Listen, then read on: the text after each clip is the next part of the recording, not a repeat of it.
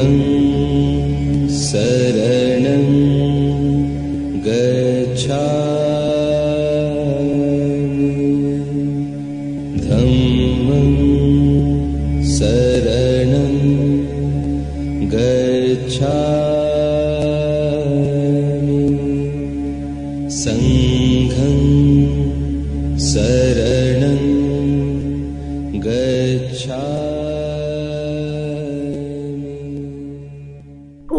ธรรม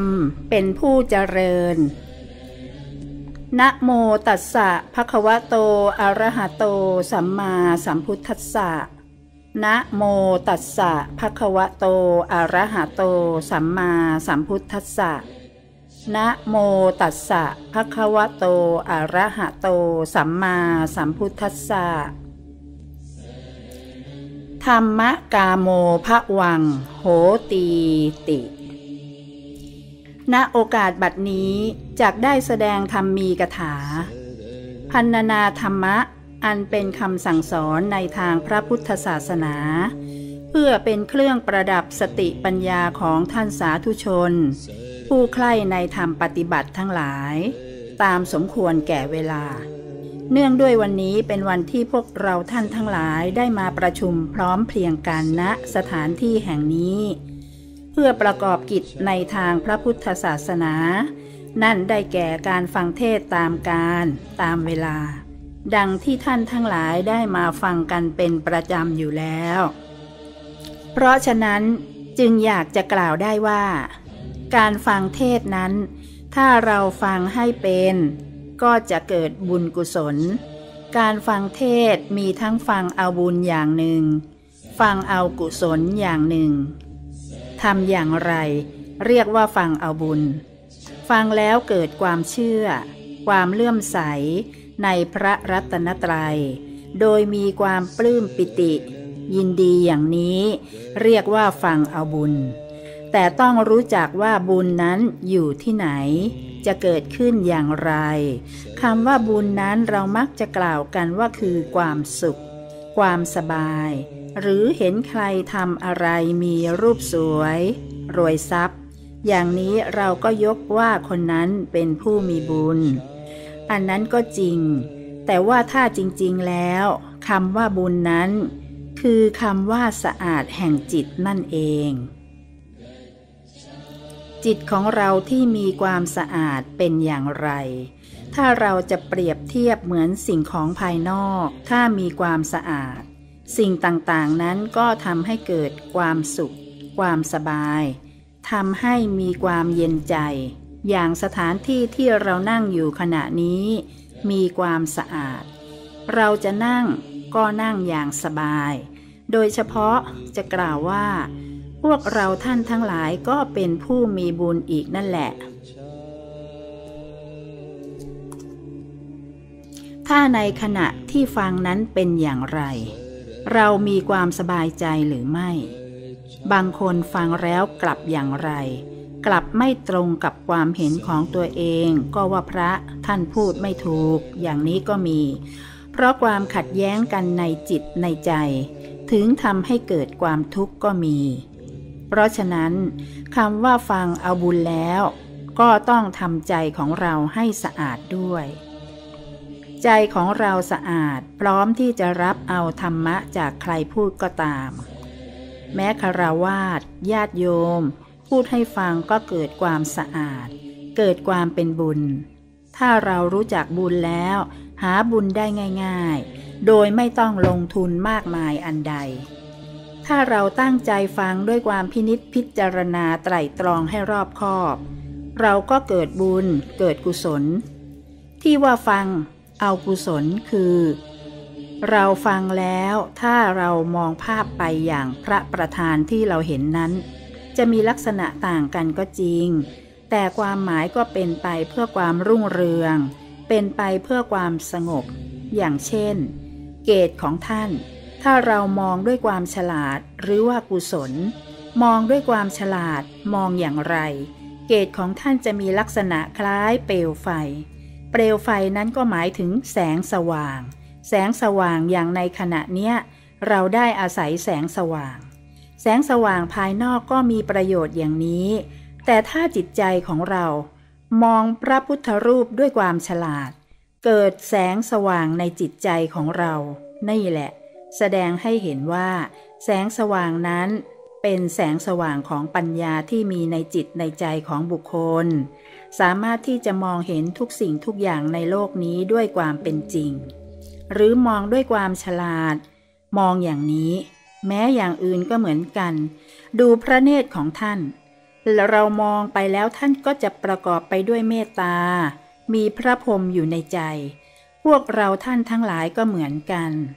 มองพระพุทธรูปด้วยความเมตตา เราก็ต้องมีพระพรหมอยู่ในจิตในใจด้วย ท่านผู้ใหญ่ที่วางหลักไว้ พระพรหมมีสีหน้า ถ้าเรามองดูแล้วพระพรหมมีสีหน้า โบราณท่านทำขึ้นเพื่อเป็นปริศนาธรรม เราได้ไปกราบไปไหว้เห็นอยู่ อาตมาเคยผ่านไปที่โรงแรมเอราวัน แต่ก่อนเคยฟังข่าว รายได้จากคนบริจาคไปไหว้ไปกราบพระพรหมนั้น รองจากหลวงพ่อโสธรที่แปดริ้ว แสดงว่าการหมุนเวียนของจตุปัจจัย ทุกคนไปไหว้ที่พระพรหมภายนอก อาตมาถึงอยากจะให้เรามองเข้ามาภายใน คือพระพรหมในใจของเรา แต่ละท่านแต่ละคนนั้น ถ้าเราอยู่ร่วมกันอย่างมีพระพรหมอยู่ในใจ ใครจะเป็นผู้หญิง ผู้ชาย ผู้น้อยผู้ใหญ่ก็ตาม ถ้าเรามีพระพรหมอยู่ในใจ ทำอันนั้นก็เป็นไปเพื่อความฉลาด เป็นไปเพื่อกุศล คือแผ่เมตตาต่อกัน ความคิดที่จะช่วยเหลือซึ่งกันและกัน นี่เรียกว่าพระพรหมภายใน เห็นใครได้ดี ก็พยายามแสดงความยินดีอนุโมทนาด้วย ล้วนแต่เป็นลักษณะของพระพรหมหรือผู้ใหญ่ทั้งนั้น นี่เรามองด้วยความฉลาด ประการสุดท้ายท่านว่าอุเบกขา มองในแง่ในลักษณะที่ประชาชนทั่วไปเข้าใจคำว่าอุเบกขาคือวางเฉย ใครจะทำอะไรก็แล้วแต่ อย่างนี้ไม่สนใจ เรียกว่าวางเฉย แต่ความวางเฉยในพระพรหมในที่นี้ท่านถึงมองในแง่ว่า คนนั้นเราช่วยเมตตาก็แล้ว คิดจะช่วยให้พ้นจากทุกขเวทนาก็แล้ว ก็เป็นไปไม่ได้ อย่างเช่นเขาถึงความวิบัติเป็นไปต่างๆ อย่างนี้เราก็ต้องวางอุเบกขา อย่าทำให้ใจของเราเดือดร้อน นี่เรียกว่าพระพรหมในใจ เพราะฉะนั้น เรามาหาพุทโธ หรือมาหาพระพรหมในใจ ครั้งหนึ่งอาตมาได้ยินจากหลวงปู่เทศ กับหลวงปู่มั่น ที่ไปบำเพ็ญเพียรที่เชียงใหม่ อยู่ในกลุ่มชนที่ไม่รู้จักภาษากัน แม้จะใส่บาตรก็ต้องใช้ภาษาใบ้ใส่อย่างนี้ ใส่อย่างนี้ ท่านทำอยู่อย่างนั้นจนชาวบ้านนั้นมาเห็น แล้วก็ไม่เข้าใจ หาว่าเป็นโจรห้าร้อยต่างๆ นานา พยายามใช้หัวหน้า มาสอดแนมด้วยวิธีการต่างๆ เกรงว่าจะเป็นอันตรายต่อชาวบ้าน นี่คือสิ่งที่หลวงปู่เทศ เล่าให้ฟัง ผลสุดท้ายท่านก็ทำความเพียรอย่างสงบ ข้าวได้ฉันบ้าง ไม่ได้ฉันบ้างตามที่ท่านเล่า แต่ด้วยความเป็นธรรม ด้วยเมตตา ด้วยความเป็นพระพรหมท่านได้ตั้งใจ ชาวบ้านที่เห็นมาสอดแนมอยู่ แล้วก็ได้เกิดความสังเกตว่าไม่เห็นมีพิษมีภัยอันใด ครั้งหนึ่งเมื่อท่านเดินจงกรมเดินไปเดินมาอยู่อย่างนั้น ชาวบ้านพอรู้บ้างก็มาถามว่า ตุเจ้าหาอะไร หลวงปู่มั่นก็บอกว่า หาพุทโธ พุทโธหาย เป็นอย่างนี้เขาก็ได้ช่วยหา เขาก็บอกว่าเขาจะช่วยหา ก็ดี หลวงปู่มั่นก็บอกว่า งั้นมาช่วยกันหาพุทโธ ก็แนะนำกันแบบไม่รู้ภาษา ไม่เข้าใจกันเท่าไหร่ หาพุทโธก็กำหนดพุทโธอยู่ในใจอย่างนี้ คนหัวหน้าช่วยหลวงปู่มั่นหาพุทโธ เดินไปเดินมาเกิดความสงบขึ้น เกิดแสงสว่างขึ้นทั่วบริเวณป่า ตามที่หลวงปู่เทศท่านเล่าให้ฟังเป็นอย่างนั้นนะ เพราะความสงบเกิดแสงสว่างขึ้น มีความสุข ความสบาย หาความอื่นใดที่มีความสุข สุขด้วยทรัพย์สมบัติภายนอกนั้นก็เป็นธรรมดามีอยู่ แต่ว่าความสุขที่เกิดขึ้นภายใน เกิดจากแสงสว่างนั้นสามารถมองเห็นสิ่งต่างๆ บาปบุญคุณโทษ ประโยชน์ มิใช่ประโยชน์ เพราะปัญญานั่นเอง ในขณะนั้นท่านก็มีความภาคภูมิใจในชาวบ้าน ชาวบ้านก็พยายามมาหาท่านเป็นจำนวนมากขึ้น มาช่วยหาพุทโธ ชาวบ้านได้รับพุทโธไปแล้วก็บอกต่อๆกันไป เหมือนพวกเรามาฟังเทศอย่างนี้แหละ ได้ยินข่าวว่าพระองค์ไหนที่มีชื่อเสียง หรือไม่มีชื่อเสียง ก็มาฟังเทศ ให้ฟังให้เป็น ฟังให้เป็นก็จะเกิดประโยชน์ดังที่กล่าวแล้วนี่แหละ เรามองดูที่หูของพระพุทธรูป มีลักษณะหนาและยาว หมายถึงความหนักแน่น ไม่เป็นคนหูเบา พวกเราท่านทั้งหลายเคยมีเรื่องในสมัยก่อน คนมาขออะไรก็ไม่เข้าใจกัน ก็บอกว่าคนนั้นให้มาขอ ก็ให้ไปหมด ลักษณะนี้เรียกว่าเป็นคนหูเบา แล้วทีนี้ให้ไปแล้วกลับมา สามีถามว่า เอาอันนั้นอันนี้ให้คนนั้นคนนี้ไป เพราะเขาบอก เพราะฉะนั้น โบราณท่านเปรียบเทียบทำต่างหูไว้ใส่ เดี๋ยวนี้เป็นเครื่องประดับซะแล้ว บางคนมาก ๆก็มีนะ ใส่ให้หนักไว้ เพื่อให้เป็นเครื่องประดับไปซะแล้วทุกวันนี้ นี่คือสาเหตุ มาจากอันอันนั้นอันหนึ่ง แต่ก็ไม่เป็นไร หูเราจะประดับอะไรดูให้สวยงาม เครื่องประดับภายนอก ถ้าเราจะดูลักษณะของหู ของพระพุทธรูป นี่คือความหนักแน่นนั่นเอง ไม่หูเบา เป็นความหนักแน่น หรือถ้ามีจิตใจ ท่านเปรียบเทียบเหมือนพืชบางอย่าง พืชบางอย่างที่งอกงามเกิดเร็วก็ทำลายได้ง่าย ไม่มั่นคง ตรงกันข้าม พืชอะไรค่อยเป็นค่อยไป งอกงาม เจริญน้อย มีแก่น มีกระพี้เป็นหลัก เหมือนคนที่มีธรรมะอยู่ในจิตใจ หนักแน่น ไม่คลอนแคลนใครจะยุยงอย่างไรก็ไม่หวั่นไหว กระทบได้ แต่อย่าให้สะเทือน อย่าให้หวั่นไหว ถ้าจิตใจของเรามั่นคงอยู่อย่างนั้นชื่อว่ามีธรรมะ พวกท่านทั้งหลายเป็นนักฟัง เมื่อกี้ได้ยินข่าวประกาศว่าจะไปฟังเทศที่สนามหลวงเป็นเวลาหลายวัน เพราะฉะนั้นต้องฟังให้ดี สุดสูสังละพระเตปัญญัง ฟังด้วยดีย่อมได้ปัญญา การประพฤติปฏิบัติธรรม ท่านเปรียบเทียบเพื่อให้ได้คิดหลายอย่าง ท่านเปรียบเทียบเหมือนตุ่มสี่ใบ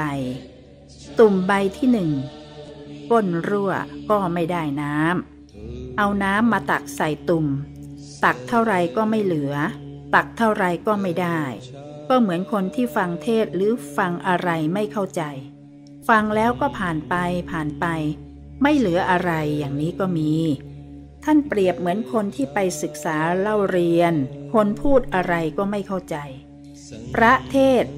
มักจะไม่มีอะไรเป็นเครื่องพิเศษ พูดไปตามตรง ไม่มีการสะดุดใจเหมือนร้องเพลง เต้นดิสโก้อะไรต่างๆนั้น คนจะไม่รับ แต่พระเทศก็มักจะเคลิ้มไป พูดเสียงเบาๆ ก็เลยนึกว่าบางคนก็มาทำไม บางคนนั้นพูดจนลิงหลับ แต่ทำไมพระพูดไม่เก่งจนโยมหลับก็มี เพราะฉะนั้นต้องฟังให้เป็น ฟังแล้วเกิดประโยชน์ ฟังแล้วจำอาตมาเคยบอกว่า ตั้งใจฟัง ตั้งใจจำตั้งใจประพฤติปฏิบัตินั่นแหละก็จะเป็นประโยชน์ เราฟังอะไรแล้วนำมาพินิษพิจารณาให้เกิดประโยชน์ในการฟัง ประโยชน์เนี่ยพระพุทธเจ้าถือว่าเป็นหลักสำคัญอย่างยิ่ง ทรัพย์ภายนอกที่อาตมายกเป็นหัวข้อขึ้นไว้ว่า ธรรมกาโมพระวังโหติ บุคคลผู้ใกล้ธรรม เป็นผู้เจริญคำว่าความเจริญนั้นตรงกันข้ามกับความหายนะ หรือความเสื่อม ไม่ว่าจะทำอันใด ถ้ามีความเจริญ ประเทศชาติบ้านเมืองก็เป็นความเจริญ แล้วเราก็มีความภาคภูมิใจ มีความเจริญใจ เราจะส่งลูกส่งหลานให้มีการศึกษาเราเรียนก็เพื่อมีความเจริญ พ่อค้าแม่ขายได้กำไรมากๆ ก็ถือว่ามีความเจริญ ตลอดถึงการทำการทำงานในหน้าที่การงาน ถ้าได้รับเลื่อนขั้น ได้รับเงินเดือนมากขึ้น ก็ถือว่ามีความเจริญ เป็นความเจริญภายนอก เราปลูกพืช ปลูกพันธุ์อะไร บ้านเมืองเราถนนหนทางไปมาสะดวก เราก็ว่าประเทศนั้นเจริญ คนเราที่มีความเจริญ ไปที่ไหน ญาติโยมที่นี่ก็คงไปหลายประเทศแล้ว ไปผ่านประเทศใดเห็นมีความเจริญก็คงมาเล่า แต่ว่าไปประเทศใดที่ไม่มีความเจริญยังด้อยพัฒนาอยู่ เขาก็จะพูดกันว่า ประเทศนั้นยังไม่เจริญ ความเจริญจึงเป็นสิ่งที่ต้องการ เป็นสิ่งที่เราทุกคนปรารถนา ความเจริญภายนอกนั้น พวกญาติโยมทั้งหลายมีแล้ว อาตมาอยากให้เจริญในธรรม เจริญในธรรมจะทำอย่างไร เราก็ต้องตั้งใจประพฤติดีปฏิบัติชอบ รักษาจิตของตนเอง มหาทรัพย์ภายใน หรือว่าอริยทรัพย์ เป็นของประเสริฐเป็นของเลิศ ควรประกอบให้มีในจิตในใจ อริยทรัพย์ภายในนั้น ถ้าว่าโดยย่อแล้วมีเจ็ดประการ คือศรัทธาทนัง ทรัพย์ คือศรัทธา มีศรัทธาคือความเชื่อ มีความเชื่อมั่น แต่ในหลักท่านวางไว้นั้น เชื่อกรรม เชื่อผลของกรรม เชื่อว่าการตรัสรู้ของพระพุทธเจ้านั้นมีจริง เชื่อว่าสัตว์โลกเป็นไปต่างๆกันก็เพราะกรรม แม้อยู่ในที่เดียวกัน ก็มีความต่างกัน นั่งอยู่ในที่ที่เดียวกันก็ยังไม่เหมือนกัน นั่งอยู่ในบริเวณเดียวกัน ขบวนรถเดียวกัน ก็ยังไม่เหมือนกัน เพราะกรรมจำแนกสัตว์เป็นอย่างนี้ อาตมาเคยนั่งรถไฟสมัยก่อน เคยนั่งไปจังหวัดอุบล เปรียบเทียบนั่งไปก็คิดไปเป็นธรรมะ ชั้นที่หนึ่งคนแต่งตัวเรียบร้อย พูดจาก็เรียบร้อย มีครับ มีคะ มีผม จะวางจะทิ้งอะไรก็เป็นระเบียบเรียบร้อย พอมาชั้นสามคำพูดก็ต่างกันแล้ว จะทิ้งอะไรจะพูดอะไรก็ต่างกัน เลยนึกถึงคำว่ากรรมังสัตเตวิภะชติ กรรมย่อมจำแนกสัตว์ทั้งหลายให้เป็นไปต่างๆกัน อย่างนี้แสดงให้เห็นว่ากรรมนี้เป็นอย่างนั้นจริงๆถ้าจะถามว่าคนที่นั่งอยู่ชั้นสามไม่มีเงินจะไปนั่งชั้นหนึ่งนั้นมี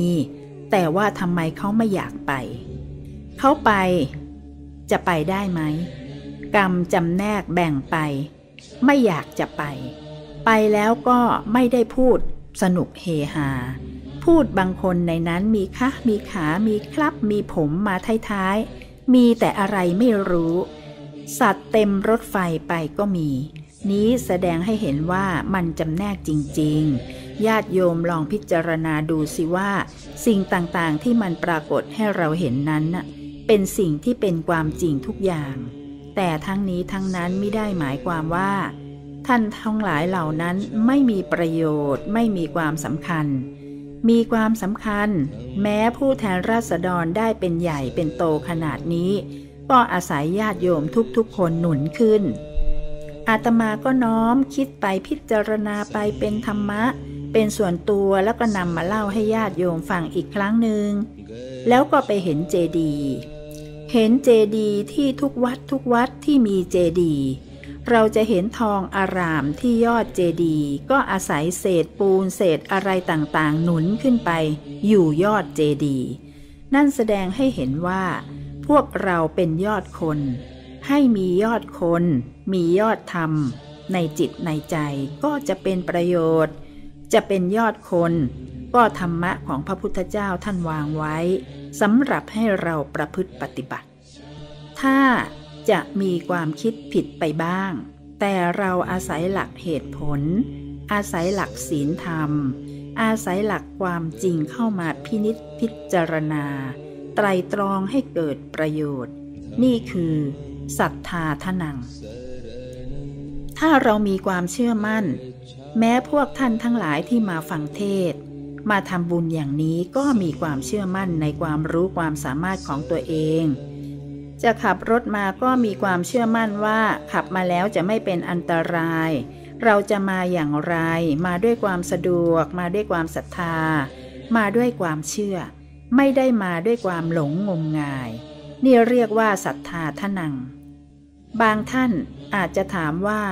เพียงความเชื่อจะเป็นทรัพย์ได้อย่างไร ถ้าเราจะมาเปรียบเทียบอาคารที่เรานั่ง เราก็ยังว่า ทรัพย์ เพราะเป็นไม้เป็นอะไรต่างๆ ก็ยังเป็นทรัพย์ได้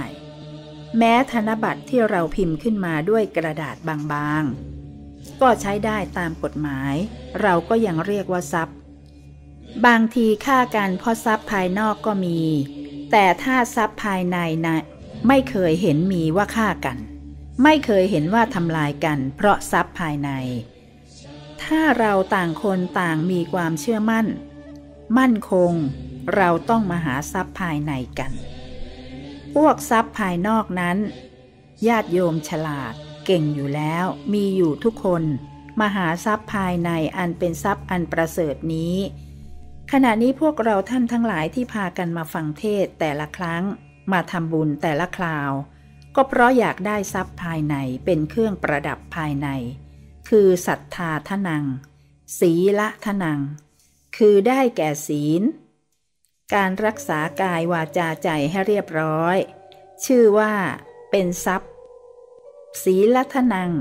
ทรัพย์คือศีล เรามีศีล เราอยู่ในสังคมใดก็เป็นที่ไว้ใจ เป็นของเย็น ศีลแปลว่าเป็นของเย็นอย่างหนึ่ง เว้นอย่างหนึ่ง ตัดอย่างหนึ่ง เราทำอะไรไม่เดือดร้อนก็เป็นของเย็น คนที่มีศีลเป็นของเย็น ไม่มีวิปปติสาร เดือดร้อน ตัดกรรมตัดเวร บางคนไปหาพระตัดกรรมตัดเวรทำความชั่ว แล้วเอาดอกไม้ไปขอตัดกรรมตัดเวรอย่างนี้ก็มี ที่จริงอาตมาว่ามารักษาศีลห้านี่แหละ จะเป็นเครื่องตัดกรรมตัดเวรเป็นมีดที่คมที่สุดสำหรับตัดกรรมตัดเวร ไม่ประกอบเวรมณี เว้นจากความชั่วทั้งทางกาย วาจา ใจ เพราะฉะนั้น ศีละทนังจึงเป็นทรัพย์ด้วยประการดังนี้ มาพิจารณาในหลักความเป็นจริงก็เป็นอย่างนั้นจริง ๆ ถ้าเรามีศีล สังคมใดก็ไม่เดือดร้อน ทรัพย์สมบัติของเราก็สบาย สามีภรรยาเราอยู่ร่วมกันก็ไม่ต้องระแวง สงสัย ว่าจะนอกใจกัน เพราะมีศีล จะคบค้าสมาคมกับใครก็ไม่คิดว่าเขาจะโกหกหลอกลวง เพราะมีศีล ตรงกันข้าม ถ้าไม่มีศีลจะเป็นอย่างไร ของมึนเมาต่างๆ โกหกหลอกลวงต่างๆ เกิดจากการไม่มีศีล ถ้ามีศีลแล้วเราจะอยู่ที่ใดก็ไม่ต้องสงสัย เพราะเป็นไปเพื่อสันติสุข ดังที่เราได้รับศีลที่พระให้อยู่ทุกคราวทุกคราว สีเลนะสุขติงยันติ บุคคลจะไปสู่สุขติโลกสวรรค์ได้ก็เพราะศีล สีเลนะโภคะสัมปทา บุคคลใดจะอุดมด้วยโภคทรัพย์ได้ก็เพราะศีล สีเลนะนิพุติงยันติ บุคคลจะถึงความดับทุกข์ดับร้อนด้วยก็เพราะศีล ราะฉะนั้น ศีลจึงเป็นทรัพย์ภายใน มีอยู่ในบุคคลใดก็เป็นไปเพื่อความสบายใจ ด้วยศีลห้าประการนี้แหละ ใครว่าศีลห้าประการที่พระพุทธเจ้าบัญญัติไว้ไม่ถูกต้อง หรือไม่ดี เรามาพิจารณาดูสิเรามาลงความเห็นประชุมสภากันใหม่ บอกว่าศีลนี้ใช้ไม่ได้ เรามาบัญญัติขึ้นใหม่ ตั้งกฎหมายขึ้นใหม่ ฆ่ากันอย่างเสรี ลองคิดว่าจะวุ่นวายขนาดไหน แล้วลักขโมยของกันอย่างเสรี หรือว่าประพฤติผิดประเวณีกันอย่างเสรี ก็มาบัญญัติขึ้นใหม่เพียงแค่นี้ เราจะเห็นความวุ่นวายเกิดขึ้นในโลกนี้ไม่ใช่น้อย เต็มไปด้วยความลุกเป็นไฟ เต็มไปด้วยความเดือดร้อนทุกหย่อมยากก็ได้ ขณะนี้การห้ามอยู่อย่างนี้ก็ยังเดือดร้อนขนาดนี้ เราได้ยินข่าวต่างๆ ก็ไม่พ้นจากศีลห้าประการ เพราะฉะนั้น ศีลห้าประการจึงเป็นทรัพย์ภายใน ความละอายต่อบาป ทุจริตสะดุ้งกลัวต่อบาป ทุจริต หิริโอตตับปะทนัง ท่านว่า ความละอายต่อบาปทุจริต ไม่กล้าทำบาปทั้งต่อหน้าและรับหลัง บางคน ถ้าคนอื่นไม่เห็นก็นึกว่าเป็นที่ลับ ถือว่าไม่มีใครเห็นแล้วไม่มีบาป ที่จริงเราก็เป็นคน เราก็ต้องเห็นก็ต้องรู้ อย่าไปดูถูกตนเอง อย่าประมาทตนเอง ให้พยายามละอายต่อบาปทุจริต เราก็จะเป็นไปเพื่อความเจริญก้าวหน้าในธรรม นี่ ที่ว่าธรรมโมหเวรักคติ ธรรมจาริง ยธรรมย่อมรักษาผู้ประพฤติธรรมไม่ให้ตกไปในที่ชั่ว ความชั่วนั้นเราไม่ต้องการไม่ปรารถนา แต่ถ้าเป็นธรรมแล้วไม่ปรารถนามันก็ได้ มันไม่มี แม้สิ่งต่างๆ เราเอามาเปรียบเทียบให้เกิดปัญญา เกิดความรู้ก็ย่อมได้ทั้งนั้น อาตมาชื่นชมพระพุทธเจ้าว่าท่านได้ทำมาแล้ว พระองค์ไม่สงวนลิขสิทธิ์ ประกาศก้องโลกอยากให้ทุกคนมารู้มาเห็นตามความเป็นจริง ไม่เหมือนนักวิชาการ คนคิดอะไรได้ก็ว่าเป็นของคนนั้นคนนี้ สงวนลิขสิทธิ์ไว้ แต่ธรรมะของพระพุทธเจ้าหาได้สงวนสิลิขสิทธิ์ไม่ ท่านว่า โอปะนะอิโก ให้น้อมเข้ามาดู สันทิติโก ให้เห็นเองรู้เองเห็นเอง เมื่อเรารู้เห็นเองแล้ว ความสงสัยก็ไม่มี มันมีปัญหาอยู่เดี๋ยวนี้ เพราะมีความสงสัย มีความขัดข้อง ที่นี่ขัดข้อง ที่นี่วุ่นวาย ก็เลยขัดข้องไปเรื่อย เพราะฉะนั้นเราจะทำอย่างไรไม่ให้ขัดข้อง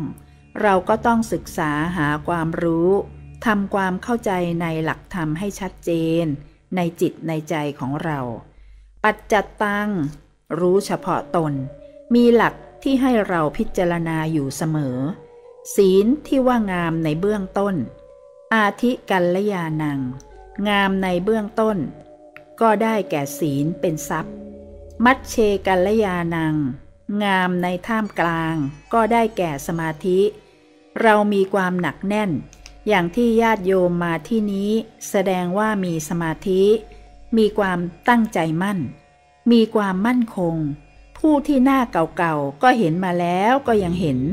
ก็แสดงว่ามีความมั่นคงอยู่ มีสมาธิ ปริโยสานะกัลยานัง งามในที่สุด คือปัญญา เพราะฉะนั้นเรามานี้ได้ทั้งศีล ได้ทั้งสมาธิ ได้ทั้งปัญญาได้ถึงความเฉลียวฉลาด ปัญญาเกิดขึ้นจากการฟังอย่างนี้ ยังไงก็ตาม เราฟังเทศ เรามาฟังเอาบุญเอากุศลอย่างที่ว่านี้ ก็ให้จดจำเอาไว้นำไปประพฤติปฏิบัติ ความจริงต่างๆที่ปรากฏในโลก เรามีความแก่ ชราธรรมโมมหิ เรามีความแก่เป็นธรรมดา เรามีความเจ็บไข้เป็นธรรมดา เรามีความตายเป็นธรรมดา บางคนก็เป็นธรรมดาไปหมด ธรรมดาไม่ใช่ธรรมดาเสียแล้ว หากคนคิดที่จริงเป็นธรรมดาจริง ๆ นะ แกเป็นธรรมดา จนคนกล่าวกันว่าความตายนี้ไม่เที่ยง ที่จริงมันเที่ยง ความตายเป็นของเที่ยง ชีวิตความเป็นอยู่เป็นของไม่เที่ยงแท้แน่นอน มันเปลี่ยนแปลงไปอยู่ตลอดเวลา การที่เปลี่ยนไปเป็นความจริง เป็นความถูกต้อง เราไม่อยากได้ก็ได้ ไม่อยากแก่ก็แก่ ไม่อยากเจ็บก็เจ็บ ไม่อยากตายก็ตาย แต่ขอให้กิเลสมันตายไปกันแล้วกัน ชีวิตเราตายไปไม่เป็นไร ให้กิเลสมันตาย อย่าให้ความโลภความโกรธ ความหลง มันแก่ไปตามอายุของเราก็แล้วกัน ให้มันอ่อนลง ให้จิตใจของเรามันแก่ด้วยบุญด้วยกุศล อย่าไปให้สิ่งเหล่านั้นเข้ามาครอบงำจิตใจของเรา เรามาละมาเว้นมาตัด อย่าให้มันหลงติดอยู่ในโลกอันนี้ พระพุทธเจ้าของเราท่านกลัวการเกิดอีก แต่พวกเราอยากจะเกิด อยากมีความเกิดเหลือเกินทำบุญอะไรก็ขอให้ได้เกิดอีก หลายคนคงจะคิดอย่างนั้นนะ บางคนขอให้ชาติหน้าเกิดมาอีกนะ อย่างนี้ก็มี ที่นี้คงไม่มีมั่งนะ เจอกันก็เจอให้ดีๆ ก็แล้วกันนะ เกิดมาแล้วก็เจอ มาสร้างบุญสร้างกุศล หาทางข้ามพ้นทุกข์ให้ได้ เมื่อเกิดแล้วมันเป็นทุกข์ ทุกข์จริงๆนะ เกิดมาแล้วก็ซ้ำๆซากๆอยู่นี่แหละ ใครอยากจะเกิดอีกบ้าง ไม่อยากเกิดมันก็เกิดนะ เหมือนไม่อยากแก่มันก็แก่อย่างนี้ ต้องระวังให้ดี มันเกิดมาแล้วบางคนไปยินดีแต่ความเกิด ลืมคิดไปถึงความแก่มันก็มาด้วย ความเจ็บมันก็มาด้วย ไม่เหมือนเราซื้อทุเรียนนะ สามารถจะเอาแต่เนื้อมันได้ เปลือกมันก็ทิ้งไป แต่นี่ความเกิดมันก็มาด้วยกัน เราจะทำอย่างไร มันก็ต้องยอมรับนะ แก่มันก็แก่ แต่ก่อนจะแก่ก็ต้องเอาดีให้ได้ ต้องรักษาคุณงามความดีไว้ เหมือนเกลือ รักษาความเค็ม ถ้าเราตั้งใจอย่างนั้น ทรัพย์ต่างๆที่ว่านี้ สุตตะทนัง ทรัพย์คือการฟัง ฟังด้วยดีย่อมได้ปัญญา ก็ทำให้เจริญ สุตตะมยะปัญญา ปัญญาเกิดจากการฟัง ฟังแล้วนำมาพินิษพิจารณา เรียกว่า จินตามยะปัญญา ปัญญาเกิดจากการคิดค้น บางคนไม่มีความรู้หนังสือ แต่ก็ได้ตั้งใจประพฤติดี ปฏิบัติชอบ คือฟังนั่นเอง เมื่อกี้เล่าเรื่องตุ่มสี่ใบยังไม่จบนะ เลยไปผสมผสานเรื่อย เหมือนพระกรรมฐาน ชั้นในบาทน่ะ ผสมผสานไปเรื่อย เมื่อกี้ตุ่มใบที่หนึ่งเท่านั้นยังไม่จบเลย คนฟังเหมือนคนตักน้ำตุ่มก้นรั่ว ตักเท่าไหร่ก็ไม่เต็ม จะพยายามอย่างไรก็ไม่เต็ม ตุ่มใบที่สอง ตุ่มดี ไม่แตก แต่ตะแคงไว้ ตักน้ำก็ได้ครึ่งครึ่งกลางกลางบ้าง เหมือนกับคนฟัง จับได้บ้าง ก็นำไปประพฤติ ก็ยังเหลืออยู่บ้าง แต่อีกใบหนึ่งตุ่มดี แต่คว่ำปากไว้ คนตักน้ำใส่เท่าไหร่ก็ไม่สามารถที่จะเต็มเพราะคว่ำปากไว้ เหมือนคนที่บางคนน่ะได้ฟังเทศ หรือทำอะไรก็ตาม ปฏิเสธความคิดความเห็นทั้งหมด ไม่ยอมรับ เห็นว่าผิดทั้งนั้น นี่คือเป็นมิจฉาทิฏฐิ ถ้าพูดทางธรรมะแล้วเป็นมิจฉาทิฏฐิ ไม่สามารถที่จะรู้เห็นอะไร เหมือนพราหมณ์ที่เห็นพระพุทธเจ้า ครั้งแรกก็เกิดความเลื่อมใส เดินมาพบ แล้วเกิดเห็นพระชวีวันของพระองค์ผ่องใส เกิดความเลื่อมใส จึงถามว่าใครเป็นครู เป็นอาจารย์ของท่าน พระพุทธเจ้าท่านก็พูดตามตรง ที่จริงอาตมาเคยคิดเล่นๆนะ พระพุทธเจ้าท่านฉลาดทำไมปฏิเสธอย่างนั้น น่าจะโน้มน้าวให้เข้ามาฟังธรรม แต่ก็เป็นเพราะกรรมเขาอีกนั่นแหละ พอพูดว่าไม่มีใครเป็นครูเป็นอาจารย์ โอ้ เดินผ่านไปเลย อันนี้ก็เหมือนกัน เหมือนตุ่มใบดีๆ อยากจะฟังธรรมแต่ก็ไม่ยอมรับฟัง ไม่ยอมเชื่อว่า พระพุทธเจ้าตรัสรู้จริง เหมือนพระปัญจวัคคี ครั้งแรกที่พระพุทธเจ้าเสด็จไปโปรด ก็กระด้างกระเดือง ไม่อยากยอมรับฟัง แต่ด้วยอำนาจแห่งบุญกุศลที่ท่านมีอยู่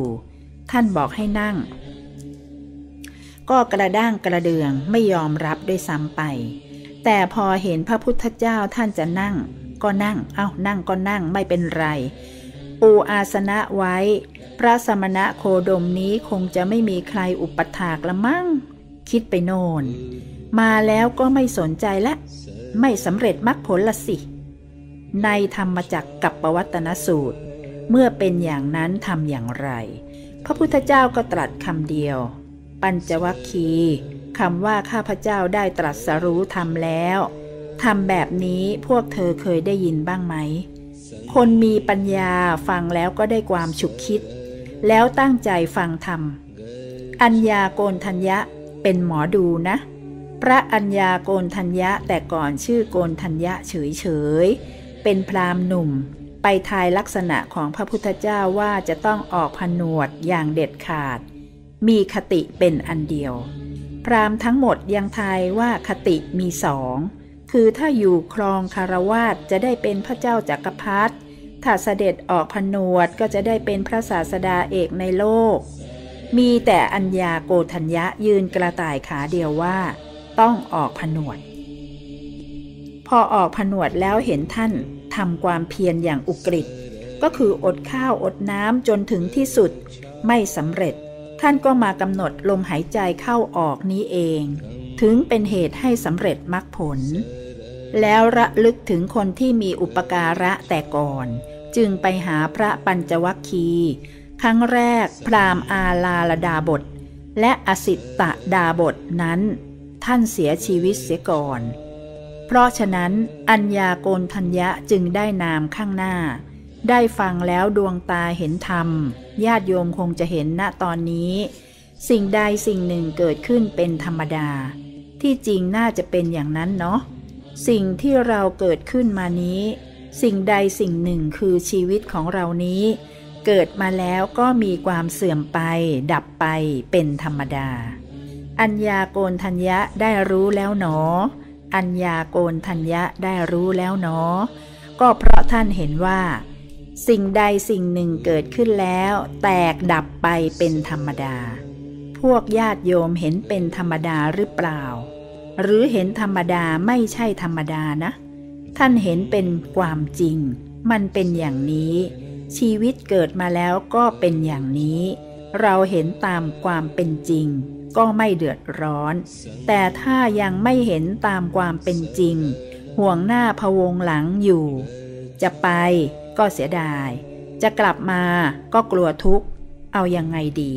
สงสัยอยู่นั่นแหละ เพราะฉะนั้นเราต้องสร้างแต่คุณงามความดีไว้ ให้เป็นพื้นฐานของจิตของใจของเรา นี่คือตัวอย่างที่ว่า ตุ่มที่ดีๆ แล้วปฏิเสธคือกว้ามไว้ อีกใบหนึ่งเป็นตุ่มดีแล้วหงายปากไว้ คนที่ตักน้ำใส่ อยากได้เท่าไหร่ก็เต็ม คนที่ฟังเทศ คนที่ฟังอะไรต่างๆ ก็เหมือนกัน ฟังแล้วเป็นประโยชน์เต็ม อยากได้ก็เต็ม ฟังได้เท่าไหร่ก็ได้เท่านั้น เหมือนเราหาทรัพย์สมบัติ รู้จักเก็บ รู้จักใช้ปัญญา นัตถิปัญญาสมาอาภา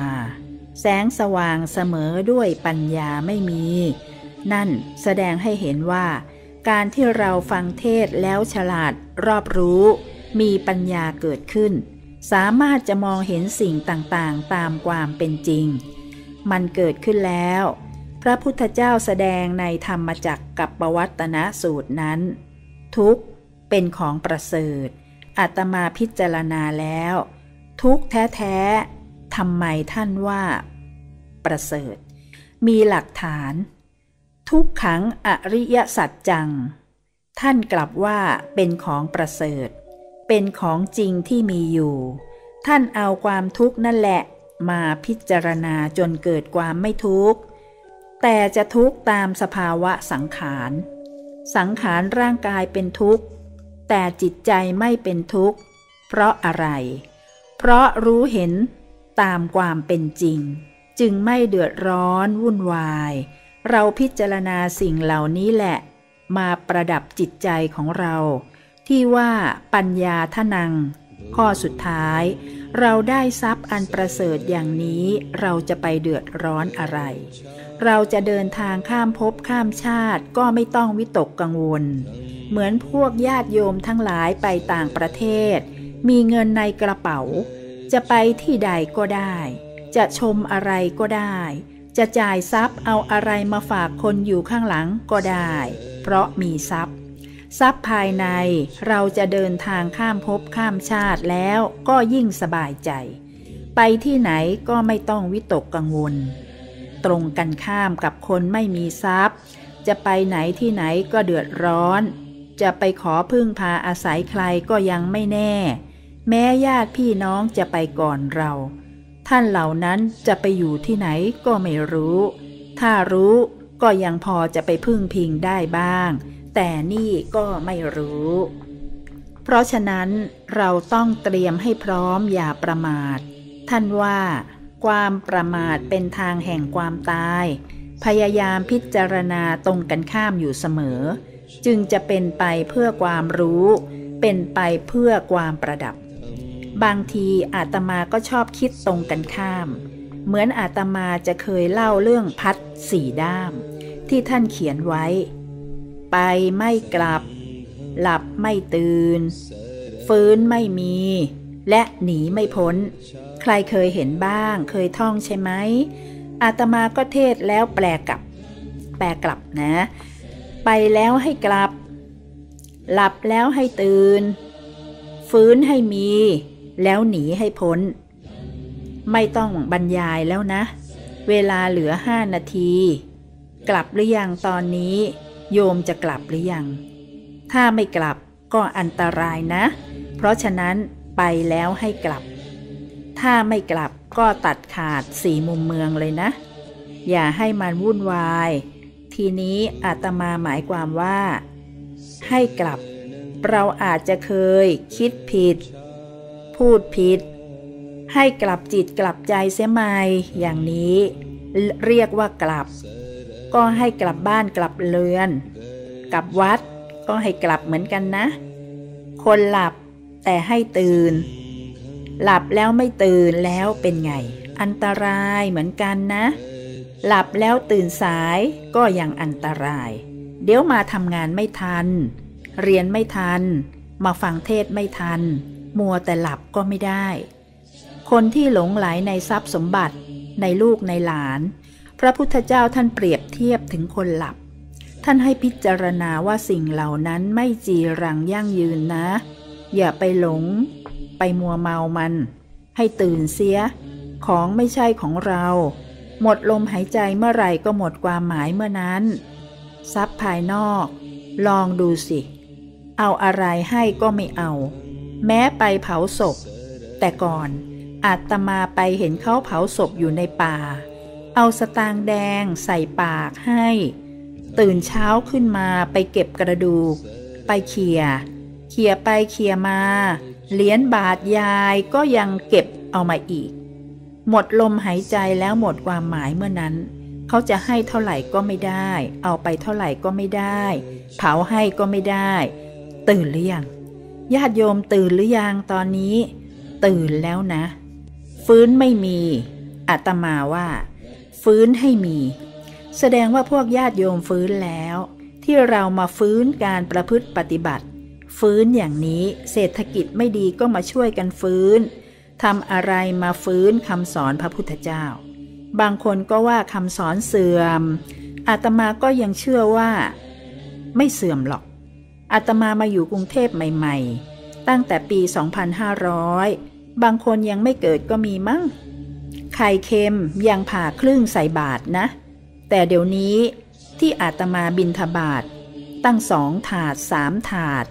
ไม่เสื่อมหรอก ศาสนายังไม่เสื่อม ยังสมบูรณ์อยู่ รับรองด้วยเกียรติยศของพระพุทธเจ้านะ เพราะอะไร ญาติโยมยังศรัทธาแรงกล้า